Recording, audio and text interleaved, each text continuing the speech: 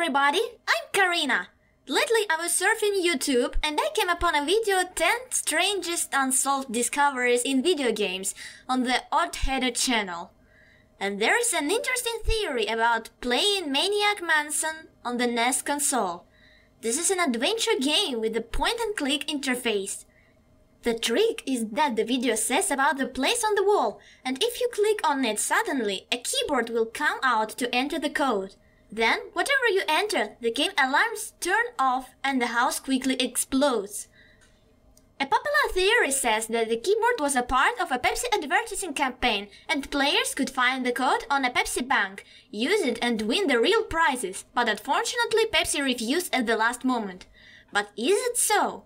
The purpose of the keyboard is still a mystery. Well, it's a bullshit.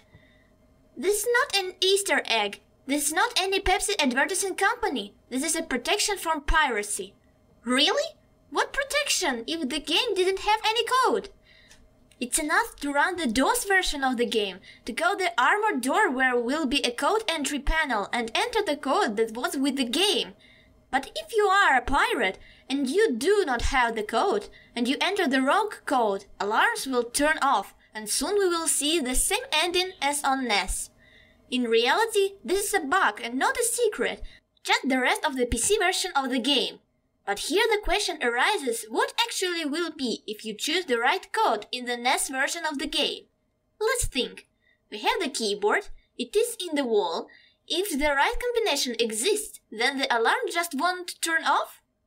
Or we can come into the wall, the space-time continuum will be disrupted, the black hole in the Virgo constellation will expand to the Earth, and then we're all fucked.